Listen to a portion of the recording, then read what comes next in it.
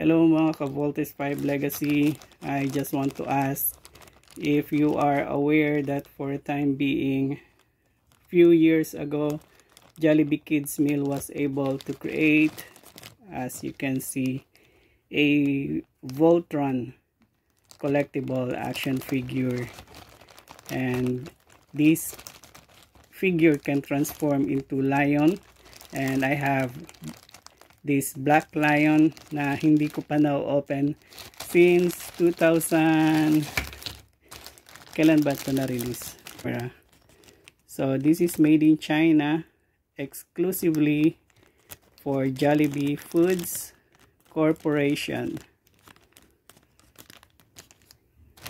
Siguro yung license year niya ay nasa likod. It's year 2008 basahin natin. And then i-reveal ko sa inyo yung iba pang mga figures later on. Uh, focus lang natin yung camera. Licensed by anime anime works. Pasensya na kung medyo hindi mabasa. Anime works 2008 so defend the universe with uh, our new black lion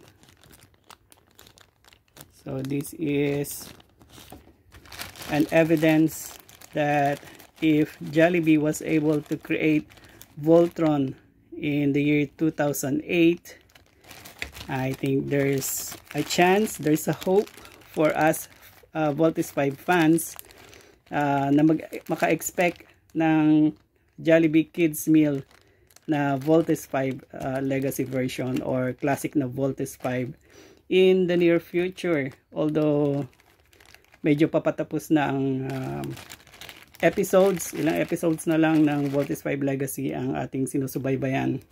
But still, we fans are hoping na someday Jollibee would create something like this because they were able to create Voltron na sobrang gandang uh, kids meal toys in 2008 so I think ang magkakaproblema na lang is uh, licensing but they can be able to create these awesome toys. Imagine this is uh, free Jollibee Kids Meal. And I'm giggling because I was able to find it sa uh, bodega. Unfortunately, kulang ako ng uh, yellow lion for some reason and hahanapin pa natin siya. And I hope we can find it. So isa-isahin natin itong mga figures na ito. And hopefully in the near future uh, makaasa tayo mga Voltis 5 fans na makaka-create ang Jollibee ng something similar. Uh, dahil nagawa na nga nila sa Voltron so it's possible na magawa nila yon sa Voltis 5 ayusin lang natin ang ating camera and then isa-isahin natin itong mga figure. So umpisahan natin sa Green Lion. This is Green Lion up close and personal So, retractable yung kanyang tail and it can transform into uh, arms of Voltron. Sorry kung medyo na off camera tayo a bit. And ito yung peg. Retractable tong peg na to actually. So you can pull this para i-connect sa body ni Black Lion. And this can be the arm of Voltron. And it's not fully posable but it is uh, decently posable. I mean for a free kids meal this looks great enough. I cannot say good enough kasi sobrang ganda ng figure nito for kids meal and we have red lion So obviously we can also transform this para sa arm ni uh, Black Lion. Actually, I'm not a real fan of Voltron. So, pakorek na lang ako if this is uh, for the right arm and this is for the left arm. Tingnan natin mamaya. And we have Blue Lion, which is number 4. So, supposedly, this is number 2. I must assume na sa right, uh, sa ano siya, um, left arm ni, uh, left arm ni Voltron. So, ayan. Fully posable itong mga action figure na to. And it also has stickers na pwede mong ilagay to decorate your uh, robot. And meron pa siyang hologram sticker dito na EMC. Pakibasa na lang guys. Medyo malabo ng ating mata. And it can transform into Voltron's uh, one foot. And of course, we have the huge one. Meron tayong extra rito actually na hindi pa na-open. And I as I can remember meron pa tayong mga iba pang figures na nakabalot din. Hindi lang natin siya sila makita sa ngayon but I will try to find it and uh, showcase it to you. And I think yung iba't pa natin mga kababayan eh meron din nito and you can fold the tail like that. And this can be transformed. Oh sorry. Tanggal. Ayan. Dito yata yan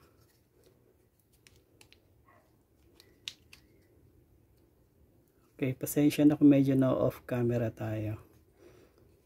So meron din siyang hologram here. Yan pakibasa na lang guys. Kung ano man yung nakalagay.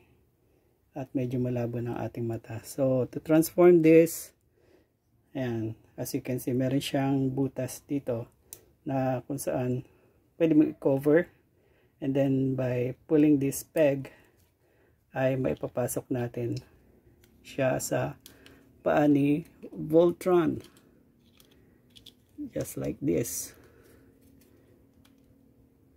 Subukan natin na matagal ko na itong hindi nagawa. okay, hindi siya mag-fit dyan. So, I suppose dito siya. Ayun. So, right foot pala itong si blue line. Left foot. Nalilito ko kasi nakaharap si Voltron sa akin. so, left foot si uh, blue lion. And then supposedly, I must assume na left arm si Red Lion. And tama bang pag-transform ko sa kanya?